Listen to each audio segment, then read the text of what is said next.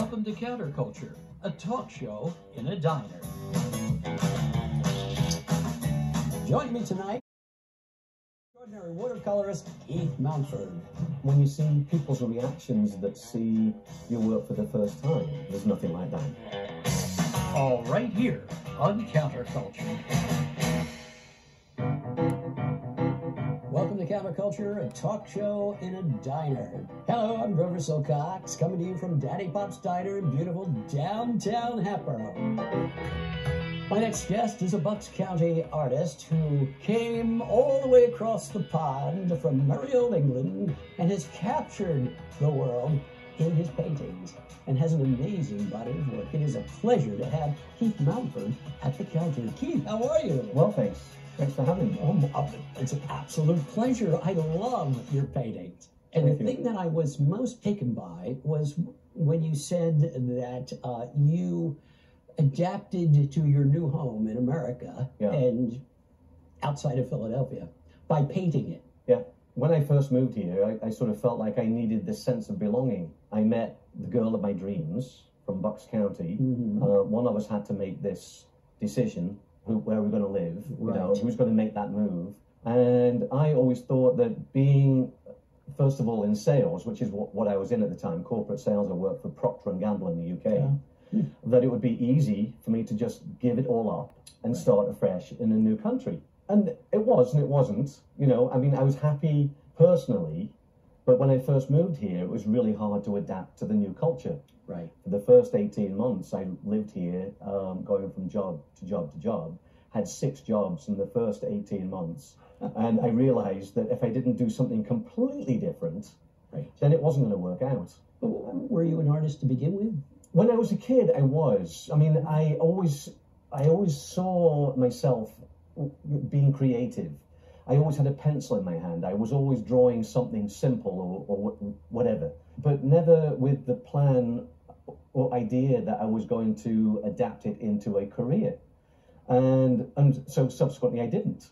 You know, I went uh, about my life, got a really great job. I've got a, a dozen years behind me. Ah. It's not going to change until you find yourself being a fish out of water in, in another place. And so here I found myself looking to do something else. And my wife and I sat down one day and, you know, and I said to her, I've got to do something else. And her comment to me was, I'm willing to support that. Wow. Whatever you want to do is fine with me. That was really the start of it. Um, I went to our local library, Mhm. picked up a book on how to paint in watercolor. Um, having dabbled a little bit in England before I left, really sort of taught myself the medium of watercolor. I'd always, perspective had never been an issue for me. Mhm. Pencil drawing had never been an issue, but I needed to adapt color. Uh, a friend of mine said to me when I first moved here, Wow, this is really good. You know, these sketches are really good, but you need to paint them. And if you paint them, then it's amazing. You know, the world is your oyster. It's hard Yeah. to believe it when you look at some of your paintings. It's like, well, this guy must have been doing this since he was two. I mean, this looks so amazing. Thanks. I Yeah. appreciate that. I've seen some of your time lapse videos, Right. and it's amazing how it starts out, you know, with a sketch, and Yeah. it, you know, by the time you're done, it's this amazing watercolor. Right. And people that don't paint, you know, you have to make sure that part of your sales spiel is to explain to them what lies underneath. When you're creating something that is personal Yes. and you put your heart and soul into it, it's amazing. It, it it's not sales anymore, you know, Right. because you just love it. And when you see people's reactions that see your work for the first time, there's nothing like that. I mean, it's just the most incredible feeling. I, I just think it's fantastic that you learned to love Philadelphia Yeah, through your painting of it. right. You have one right over here Yeah. of uh, City Hall, I think. I do. Is this one of your first? This is one of my first. This was painted in 2003. When I say one of my first, one of my first that went into reproduction. right. I really got to know the city of Philadelphia through through painting it, and I would take four by six shots, get an overall perspective of, of a scene that I wanted to paint, mm-hmm. join them together, and that would give me the basis to actually do a very detailed pencil line drawing from it before I set about doing my watercolor painting with washes and detail and dry brush and all the techniques that make up mm-hmm. watercolor.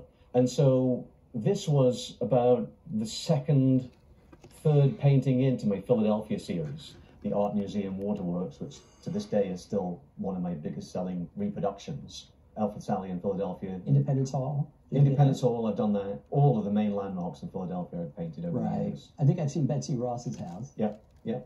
Point perspective was uh, Right. really what drew me into creating these kind of paintings, where you can actually see the vanishing point in the piece. If you can imagine having a straight edge on a flat piece of paper Mhm. and being able to go down the tops of the buildings and going up the sidewalk and bringing you into the arch of the doorway, Yeah. all of these lines that go vertically and horizontally throughout the foreground Mhm. are all made up through this point perspective vanishing point. So now this represents your most recent work. Yes, it does. Everything that I paint is I have to have some kind of a relationship with the scene. So in the summer of 2018, my wife Tracy, my son Jack, and I, we took a month-long tour of Italy, and we did everything, everything we could possibly do in that month-long tour. Part of that trip was to the city of Venice, and certainly from an artist's perspective, it blows everywhere else out of the water. Every corner of this city is a painting waiting to happen. It's an absolute artist's dream. What I've looked to develop in my style of realism painting in recent years is not only to be able to create a very detailed, very lifelike drawing, but to incorporate a mood and an atmosphere with my now knowledge of 25 years worth of working with color. It's a work in progress, never ends. Absolutely. Uh-huh. Yeah, and it's absolutely. exciting to think where you'll be in another five years. Absolutely. decade. Yeah, and you know, going back to my sales background and my sales training background when I was a sales trainer working for Procter and Gamble, the key element to being a sales trainer was to be able to critique not only others in the selling process, but also to be able to critique yourself too. Mhm.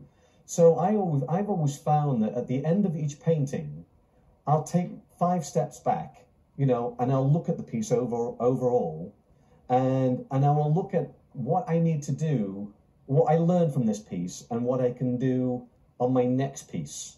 And I've got go-to people that also come and help me critique. Right. What kinds of Um, things will they say to you? A good friend of mine, Jill, she she comes over all the time, and she's the first person. She's my go-to person when it comes to a finished painting.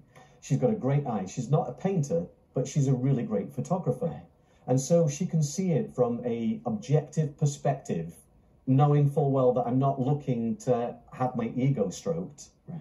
I need you to see this piece for what it's what it is and what it says to you, Mhm. and it's invaluable help, really. How do you uh, sell your paintings? How do people get get them? I sell directly to the buying public. Mhm. Um, it's always been my way to go because I want to meet all the people that want to hang my work on the wall. They need to be able to tell my story when they hang the painting in their home or in their office or wherever it is. And so what I do is I do an, a series of art shows and festivals up and down the East Coast.